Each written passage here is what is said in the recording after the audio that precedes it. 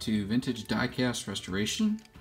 Um, up for restoring this week um, is this model number 68 Matchbox Series uh, Lesney Coach. Uh, so this is the uh, the Greyhound bus Greyhound motor coach. Um, as you can see, this model is not in great shape. Got a lot of paint loss, um, some oxidation on the original casting where that is. You can see our original, um, I think these are stickers, not transfers, are completely gone. Um, we've got some suspension issues with our rear tires especially. Uh, this doesn't seem to want to set level. So this one is far enough gone that I feel like it's worth attempting a restoration on that. Um, I think there's a clear line and, and I try to, you know, evaluate every model that I have in my collection, whether it's worth restoring or worth preserving. Um, and there's there's a difference between the two. Um, but for this one, you know, I've got good glass. It's in decent shape. This is the yellow, yellow glass, uh, which is the more common. I still don't have a clear glass in my collection. Um, so this, I think, will be a great candidate for restoration. Um, so to get this apart, to get us started, you can see there's two very small rivets in the back there that we're going to have to uh, drill out or remove in order to take the base loose from the main body casting. Um, in order to do that, I use just a, a small um, bench vise here. And in order to protect the casting, I've got this uh, rubber mat, this little rubber sheet that I'll put in. So I'm get that cranked down just to hold that secure. I don't want to go too too hard on it because I definitely don't want to crush the sides or uh, bend my casting at all. So um, the next thing I need to do is find a drill bit that's going to be the appropriate size in order to drill out those rivets. So I look, got this one here. Looks like it might be big enough for sure, maybe too big. My next size down, I think I'm gonna start with the smaller ones first and maybe work my way up to the larger.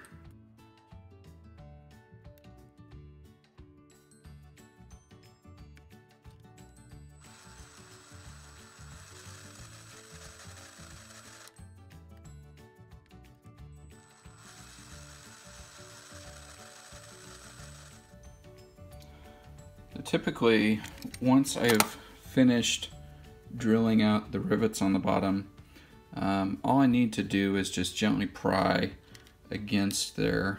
I use this small little tool. Come in once on that side, once on the other side.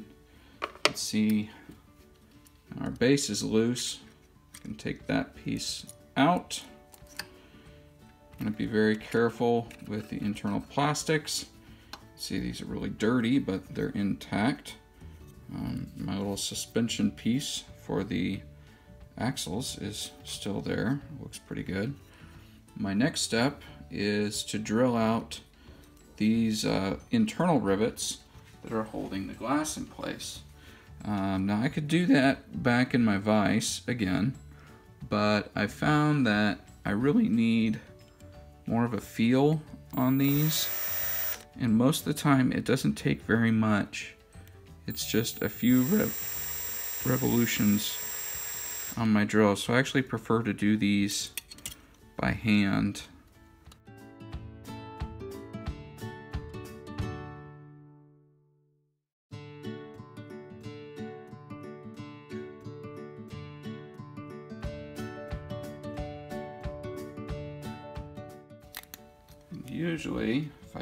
Those right, and just lightly press on the outside and my glass will come apart too. So our next step is to address our base and our wheels. Um, I usually wait to take the wheels off until I remove the base. That way I'm not risking damaging the original uh, casting at all. Um, and so to take the wheels off, I'm actually going to use um, a method I've seen many restorers use. Um, the one that I first saw it on was uh, Marty's Matchbox Makeovers. Um, and that is I'm going to Dremel just the very edge of the mushroom post there uh, so that I can take the wheel off and slide the axle out. So I'm going to go ahead and start with the front wheels first. I always want to look, as you can see, this end of the axle with the half round, that's the original factory end. Um, and this end was the end that was rounded. So I'm going to start on that end. I've got a small um, grinding stone. Now that we've finished grinding our last two posts, it's the same process. Just remove the wheel on one side, back the axles out of the base, and take the wheels off of the axles.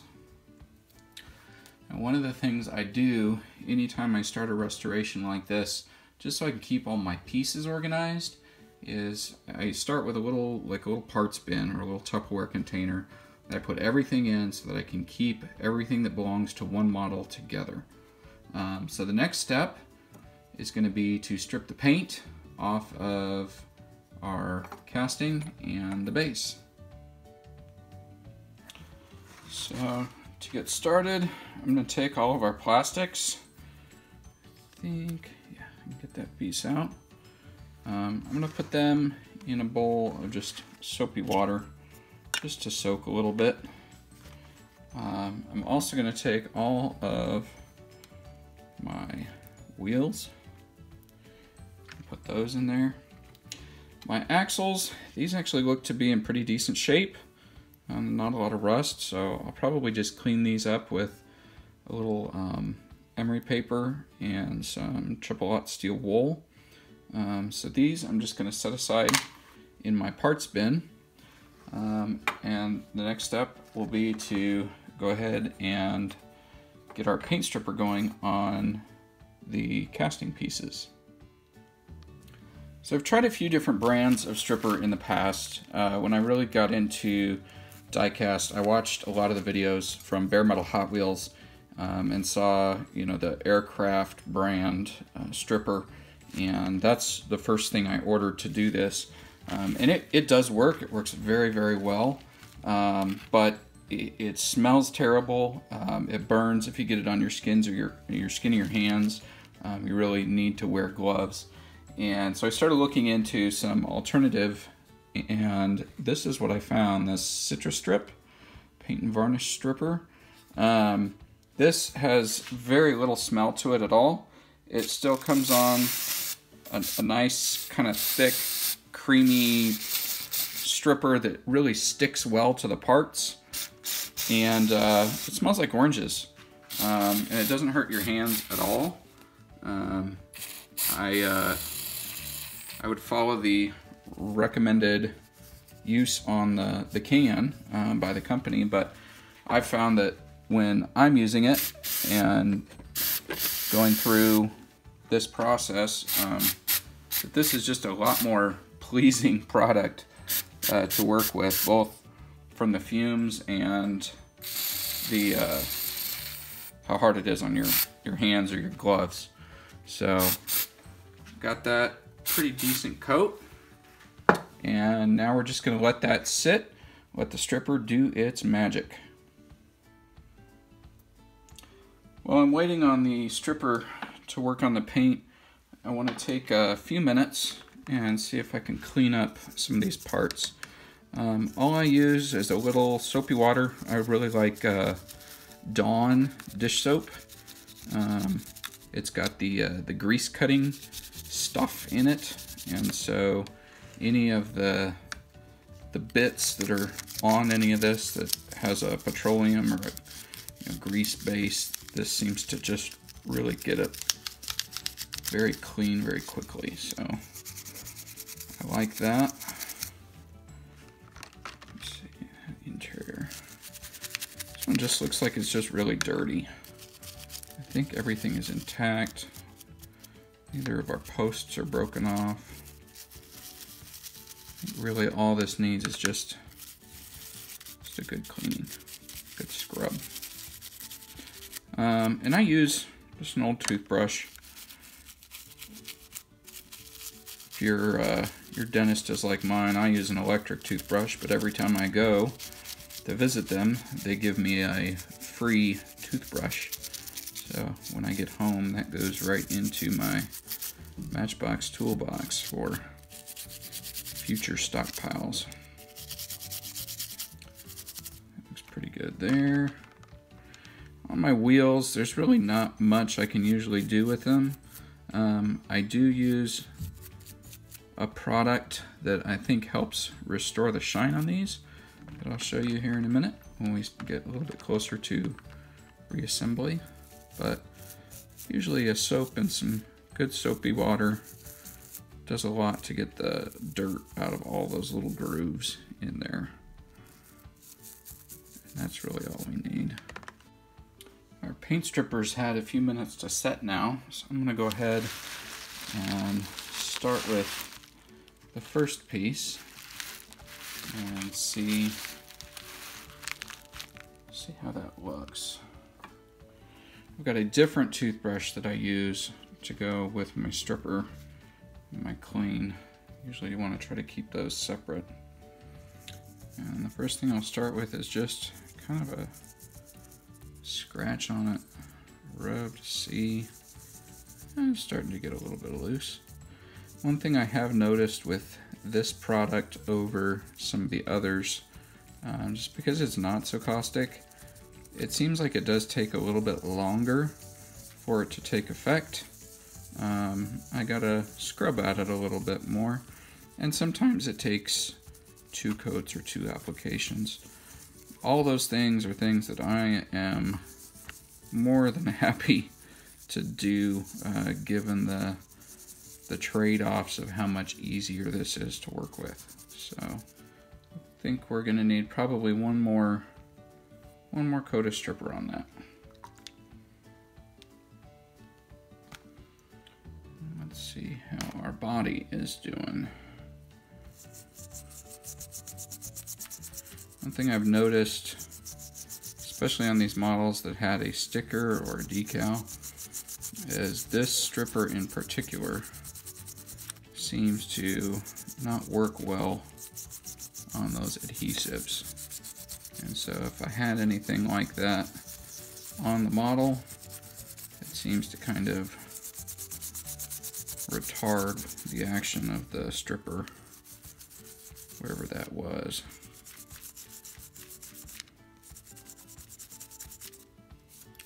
This doesn't look like this has had hardly, hardly any effect on that. So this is definitely going to take a second coat. Some of those real play-worn areas where there was already quite a bit of paint loss, that seems to have cleaned right up with this, but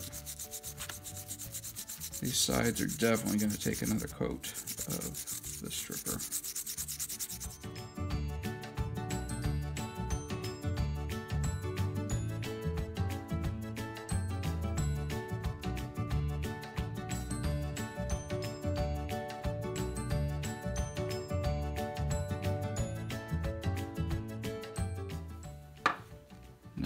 Onto our bus body.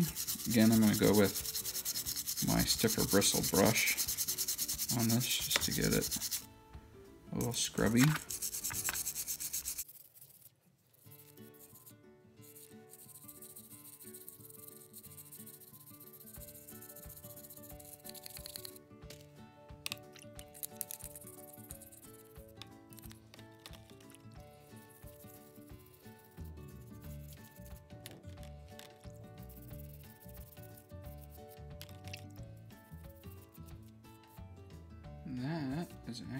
Looking really pretty good. Back to the uh, Zamac everywhere.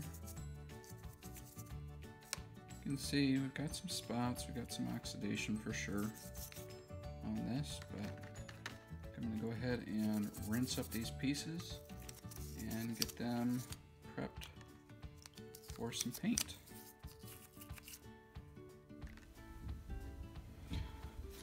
Now that I've got these all cleaned up, uh, you can see that there's still a few little flecks of black paint in between the letters. And to go after the, those, I like to use this uh, soft, this is like a plastic bristled brush for the uh, for my Dremel. And I put that on not full speed, maybe about two-thirds speed and I'll use that to get in there. I know that that brush is uh, nice and soft and it's not going to scratch the casting at all so I can really go after it and get in between all those letters to get those last few little pieces of loose paint. So as you can see it's got a bunch of them. I still got a few little areas in there. The A's and N's are always the worst. Um, and I've got a set of dental picks that I'll go in to get each one of those out with.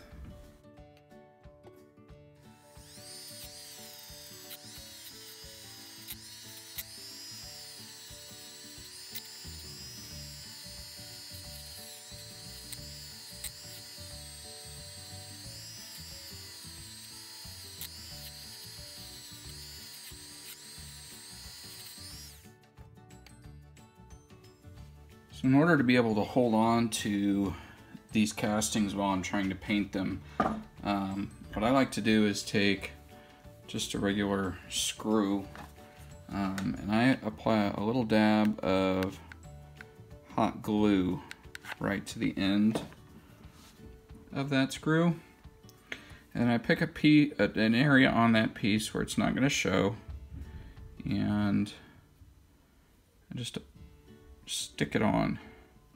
So that'll give me now a piece that I can hold on to while I paint. It'll be out of my way. There's second one. I'm actually gonna stick this. I'm gonna stick it right here, right between the windows. Um, the other thing I do is I've got this 2x4 just with some holes drilled in it so when I'm done painting I can take my screws and drop them in there and my pieces have a place to sit and dry in between where I don't have to touch them. So to mix up my paint, um, I first start out with, I got a whole package of these things, um, these little paint mixing cups. And I got these on Amazon. I'll put the link in the video description. Um, but this lets me measure out. It's got some different uh, measurements molded right into the sides of the plastic there. Lets me figure out how much I've got. Um, so that's one of my first things. These are the other things uh, that I like to use for mixing my paint up, these little pipettes. Um, these, uh, I think I also got these on Amazon. I'll look and see if I can remember where it is or if I can find a link. Um, but these sure make mixing and uh, measuring a lot easier. So for the body of the bus, uh, that's a silver, and I'm going to use a Testors brand um, metallic silver. Uh, this is, let me see if there's a number on this. 0611. So that's what I'm going to use for my silver. Um, I One thing you'll notice a little bit different on this, I like to use lacquer paints. Um, I know a lot of the guys that are doing the restorations um, have gone to the acrylics. You know, acrylics are a little bit easier to work with. Uh, they're certainly easier to clean up because they're water-based. Um, but I'm pretty positive that in 1955, when Matchbox Lesney was making these, and they were coming out of the factory, um, they weren't using acrylic paints. So I'm a bit of a purist, I guess. Uh, the other thing that's a little different is you'll notice I do not use any kind of primer on my models. Um, I've not had a problem just with a straight acrylic sticking or a straight uh, lacquer sticking to my metal. Um, so I'm sure if I were using the acrylic paints, I would probably need to do a good um, primer coat on that in order to get my paint to stick. Um, but I'm not, I'm using lacquer, and so I'm not going to do primer. You'll see as I mix these here, all I'm doing is I, I put a little bit of thinner in with my paint, and that's to get it flowable and make sure that it goes through my airbrush really nice. You can see to mix it, I just kind of suck it up into the pipette and squirt it back out. I do have a little uh, electric mixer, a little mechanical mixer, um, and I found that especially on these metallic paints that have a little bit of that flake kind of suspended in them, uh, sometimes I do have to go back and do the mechanical mixer, but this looks like it's it's mixing just fine. Um, the other advantage that this gives me is when I get ready to load up my airbrush hopper, I can just suck up what I need, um, load up my gun, and then uh, as I need more, I can come back, suck a little more up, and reload. So this is ready to go. Um, so next step will be to paint our model. I also, I grabbed this, um, this is my clear spray lacquer, uh, or clear top coat. Uh, this is also from Testors, so I, I know that it's not going to interact at all with the lacquer base that I'm using. Um, but I'm actually going to wait to do the top coat here because this model has a, um, a decal that comes on this on the side here. So I'm going to wait until after we get the decals applied, I get my decal set on, and then I'm going to come back and clear coat this. So now we're ready to start our first coat on the base piece. Um, got my tester silver loaded into my airbrush. Um, I do like to start out with just some lighter coats and build it up. Um, I don't, my pressure maybe on my airbrush is different. I know I've seen a lot of restorers say, you know, that they do one, they wait a few hours, they do another I generally go real light to begin, but by the time I'm done working my way all the way around, my first coat is dry. Um, so I usually just kind of do a continual paint, slowly building up those layers and rotating the model around till I've got even coverage over everything. Um, and then once I get a good, you know, first coat, uh, multiple layers stacked up, then I'll set it aside to dry for a while.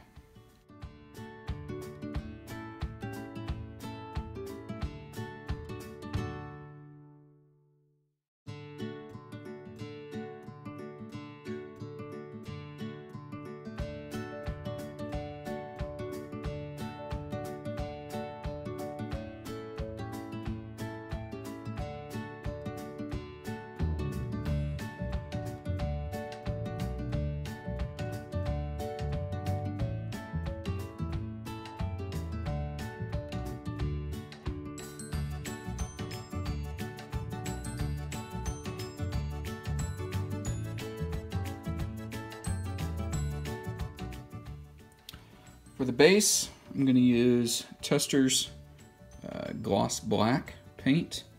Um, the lacquers, I always have to shake them up a little bit, get them ready to go. Um, mix that with, again, anytime you're, you're buying paints and things like that, I tend to try to stay in the same brand. Um, I've had really good luck with the tester stuff, so that's what I use. Um, I know I've seen some of the some of my international friends use uh, Humbrol or um, some of the, the, other brands that aren't available to me here in the States. Um, but stateside, Testors is pretty long-standing, pretty reputable company, and I've always had really good luck with their stuff. So.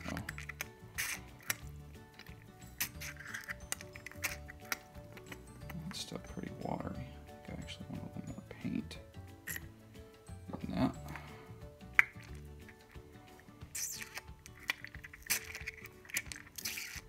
Want to get that too thin. If you get your uh, lacquer too thin, it just drips and runs everywhere when it hits the model. It takes a long time for it to dry. I usually try to shoot for about a 50-50 mix. 50% um, paint to 50% thinner. Um, and that does a pretty good job of still being flowable in my airbrush, um, but having a nice uh, coverage once it hits the model. Um, one thing I think I would do differently, I like these little mixing cups.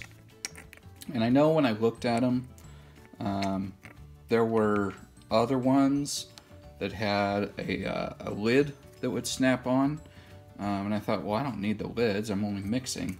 But a lot of times I do end up mixing up more paint than I need um, or having a bit uh, left over at the end. And instead of throwing that away, it'd be nice to be able to cap those. So I think if I ever order these again, I may look for a different link um, to share down in the description. But um, if I get another one, I, I, think I'd like to put a cap on them.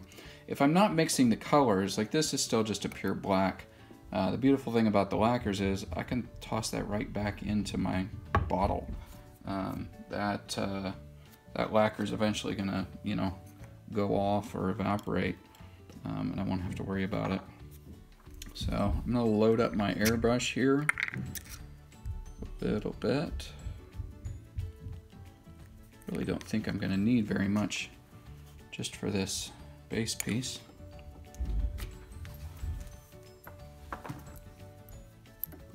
Hook up my brush to my air compressor. Get that pressurized. And we'll start on our base. Same thing as before. Um, I do start out with a light first coat, um, but I generally just keep it moving, keep it rotating, come around um, until I've built up enough of a coat on it.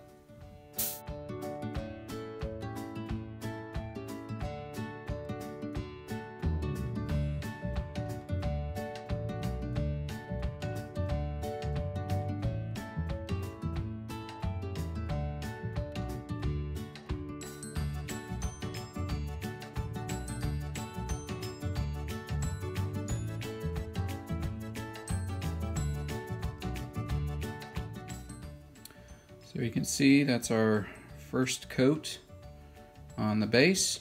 I think I got pretty pretty smooth, even coverage through that. Uh, looks like that should do us for this restoration. Also got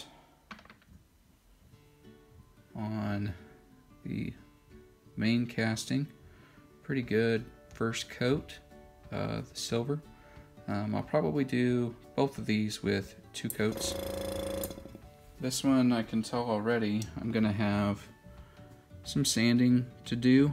Um, just, I don't know if there was, I didn't get some of it cleaned off as well. I did clean this with uh, a, a, coat of uh, thinner, lacquer thinner before I started, um, just to make sure there weren't any oils on it. But I think, and I, like I said, I can't tell if that's a oxidation in the casting or if that is um, something that was stuck to it. Uh, but this is going to need at least one more coat on the silver.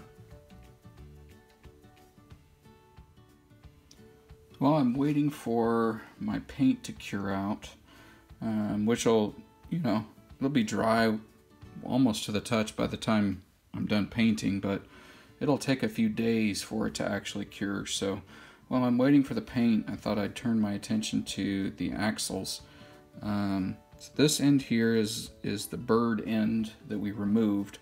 In order to clean these up a little bit, um, what I'm going to do is I'm actually going to take the factory end and I'm going to put that in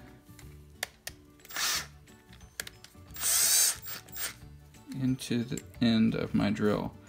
Now, you'll see I'm tightening this down just by hand because I don't want to crush that mushroomed factory in. So I just want it, you know, tight to the touch is all. Um, and then I use a combination um, instead of like a emery paper. I actually like just using an emery board. These uh, disposable nail files. Um, these are really great. They're easy to hold on to. They've got a heavier texture on one side, a finer texture on the other, um, and usually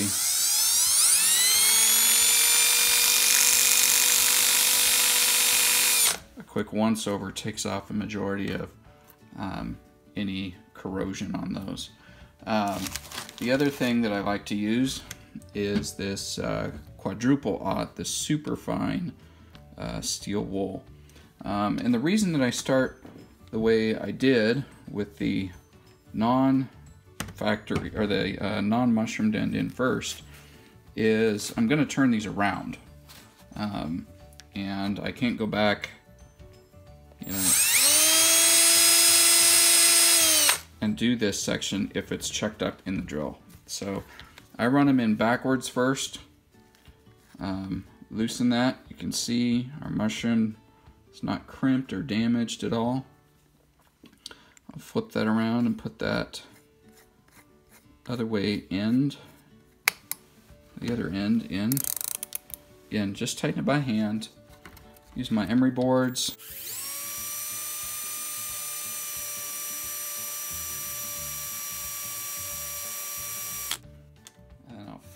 To my steel wool.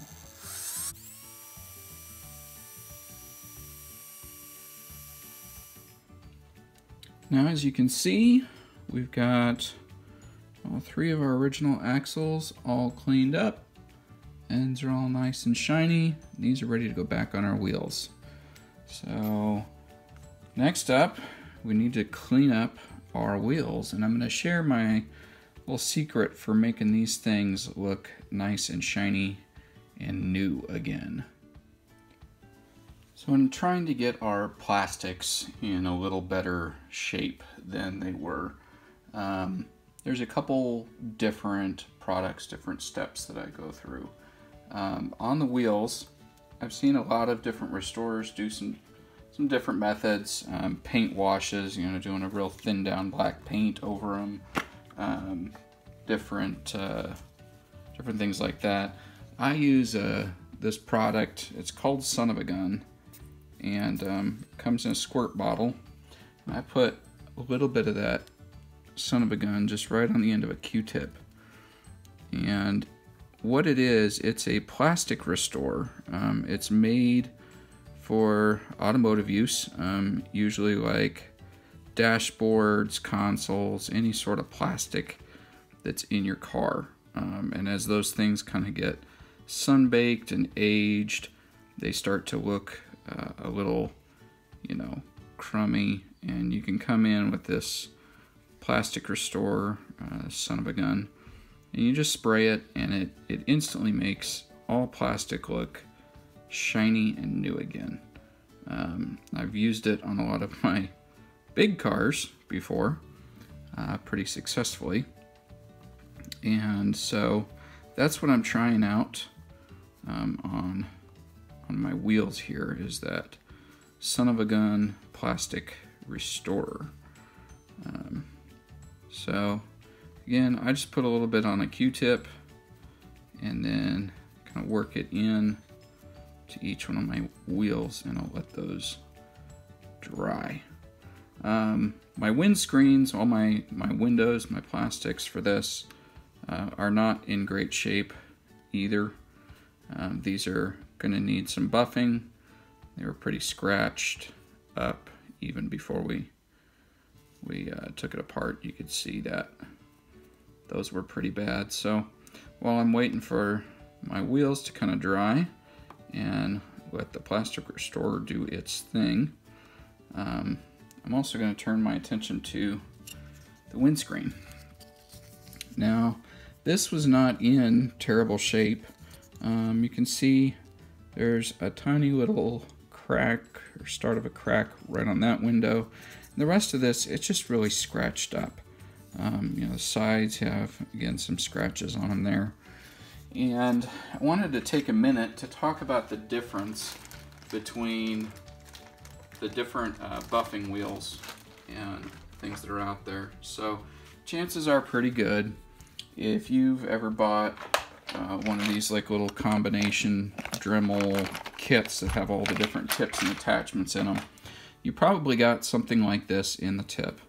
And this is a kind of a cotton buffing wheel. It screws on to one of these um, attachments that fits into the Dremel. And uh, these are not what you want to use to, uh, to buff this plastic. These are far, far too dense, um, far too hard. They're going to be too abrasive, and you're end up just going to burn right through that plastic. What you need to do the plastic buffing is one of these. Um, these are a very soft, very light material. Um, I bought a package of, I think like 25 or so off of Amazon. Um, and you can see sort of the difference between these two, um, both in, in size and in density. This is really light, really fluffy, really soft. This is hard. Um, this is really dense cotton on this. So these are not what you want to use. This is what you want to use. Um, and I know there's several different suppliers. The uh, the first one, the one that was kind of recommended by one of the other restorers that I follow, uh, wasn't available. So it took me a, a, bit of hunting to find these, but uh, these ones were in stock, so that's what I ordered. In order to get this plastic uh, all nice and buffed out and get it to go back to clear, um, I've got my buffing wheel set up inside my Dremel. Uh, I'm actually gonna, gonna move these out of the way just so that nothing happens to them here. And you need a, a buffing compound on this so that you don't burn out your plastic. And I use on my Matchbox uh, the only thing that I would trust on my Matchbox or on my big cars, and that's uh, Meguiar's. Um, this is their ultimate compound. This is formulated specifically for clarity, um, and so this is what I use, and it works pretty well. So to start, I'm going to put a little of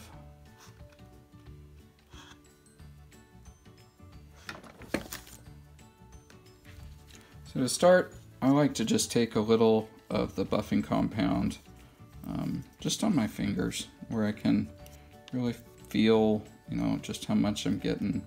Kind of smear that around my plastics anywhere where I'm going to need to do some polishing. And on this one, I want to be really careful with this little flap at the end um, because that's very, very easy to break off if I'm, if I'm not super careful with it. And then I like to start my Dremel uh, just on kind of a low to medium low speed um, to start working that in. And you'll see, see how soft that wheel is. It's not uh, not eating into that plastic at all. And that's really important. Um, just want to buff it